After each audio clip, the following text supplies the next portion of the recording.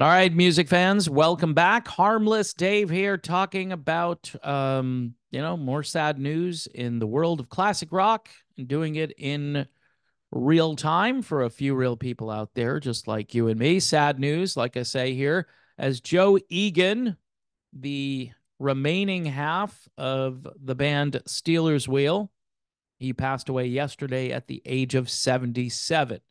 If you're not familiar with Stealers Wheel, because a lot of time has passed since uh, what 1973, so we're talking 51 years ago, and you'll still hear the song on the radio because it's such a great song.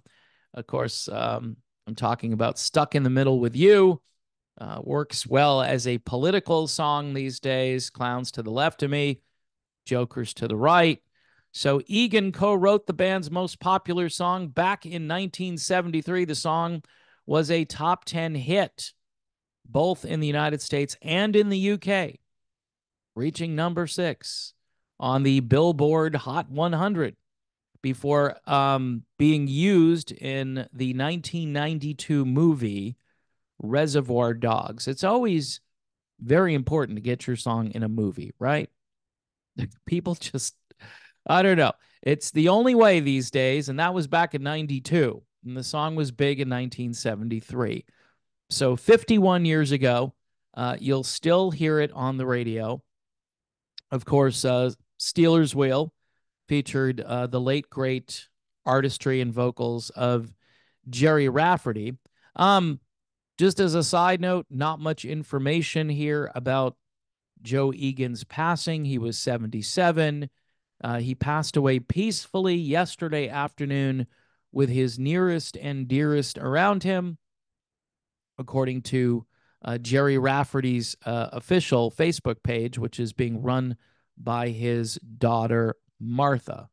Uh, it said here um, that he will always be remembered as a sweet and gentle soul. May he rest in peace.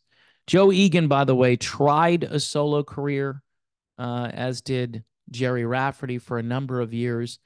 Highly recommended is Joe Egan's album entitled Map, M A P. Came out in 1981 and it's really good because he adapts a bit to the sounds of the of the time. It kind of, you know, moves forward and still some great songs, some great songwriting, great instrumentation. Uh, basically, Stealers Wheel started out as kind of a folky band. So again, uh, if you're into um, nostalgia or one-hit wonders, certainly Stealers Wheel should be on your list. Uh, they were formed back in 1972 in Paisley, Scotland. By the time their first album came out, uh, Gerry Rafferty had already hit the road.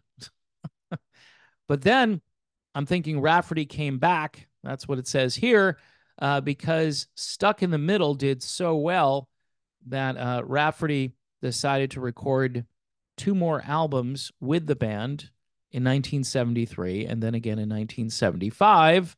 Um, I would go back and listen to those albums if you haven't heard them because they're really good.